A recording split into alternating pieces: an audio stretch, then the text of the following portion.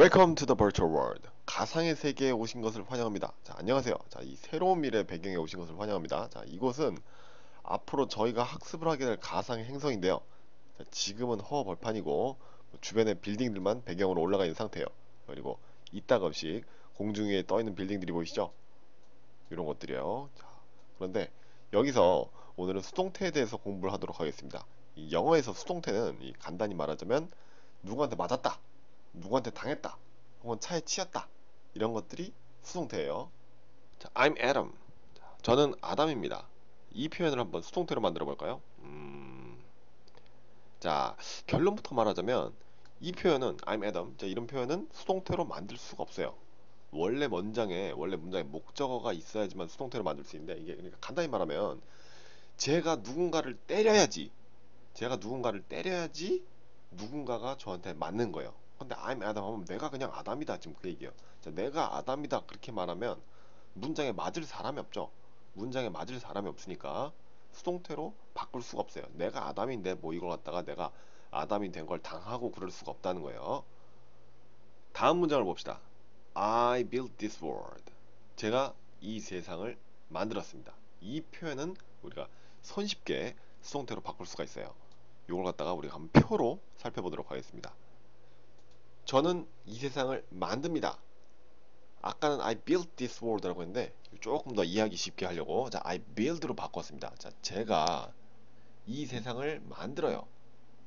얘는 얘를 이렇게 하죠. 자 요거 이걸 갖다가 우리가 수동태로 바꿔보도록 하겠습니다. 그러니까 의미상으로는 이 세상이 저에 의해 만들어진다 뭐 이런 식으로 해줘야 될 텐데요.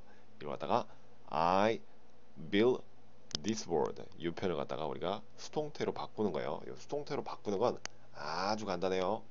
그래서 this world를 갖다가 이 맨 뒤에 있는 거죠. 자 보시면 한 개, 두 개, 세 개 있죠. 이렇게 주어, 서술어, 목적어 한 개, 두 개, 세 개 있습니다. 그럼 이 세 개 있는 거 세 번째 거, 세 번째 거를 갖다가 앞으로 쫙 빼줘요. 두 번째 거는 그대로 내리고 첫 번째 거는 맨 끝으로 바꿔줍니다. 만약에 이걸 갖다가 그대로 해버리면 그대로 해버리면 안 돼요. 왜 그대로 해버리면 왜 안 되냐 하면은 자 제가 이 세상을 만들었습니다. 이거 그대로 I 하고 this world만 바꾸면 어떻게 됩니까? 이 세상이 저를 만듭니다. 뭐 이런 뜻이 되잖아요. 근데 그러면 안 되겠죠. 자 내가 이 세상을 갖다가 지금 만들고 있는데 이, 내, 이 세상이 나를 만들고 만든다. 뭐 이렇게 하면 안 되고 얘를 앞으로 빼주는데 얘는 그대로 쓰고요. 자 build를 갖다가 b 플러스 pp 형태로 바꿔줍니다.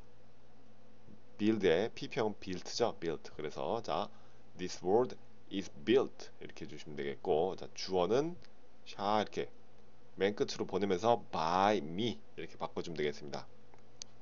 자 만약에 이거 pp 형태를 갖다가 모르신다 하면은 이 불규칙 동사 천재 가 있어요. 우리가 지금 이 수동태 공부하기 전에 실은 그 앞부분에서 앞부분에서 공부해야 될 그 불규칙 동사 천재가 있습니다. 이 불규칙 동사를 갖다가 완벽하게 공부를 하시고 다시 이걸 갖다가 공부를 하셔야 되겠습니다. 여튼 build를 갖다가 b 플러스 p 형태인 is built 이걸로 바꿔 주셔야 되겠고요. 자, I는 by me 그쵸? 자, 이거 주격이죠. 주격인데 I인데 by 전치사 뒤에는 목적격 쓰죠. I의 목적격은 뭐예요? me죠. 이 부분 잘 기억하셔야 되겠습니다. 자, 그래서 I build this world는 this world is built by me 이렇게 수동태로 바꿀 수 있겠습니다. 우리가 이 수동태로 바꾸는 거는 뭐 어, 영어를 갖다가 충분히 접하다 보면 자연스럽게 자동으로 되긴 되는데요. 우리는 마음이 조금 급하니까 관련 문제를 갖다가 살펴보도록 하겠습니다.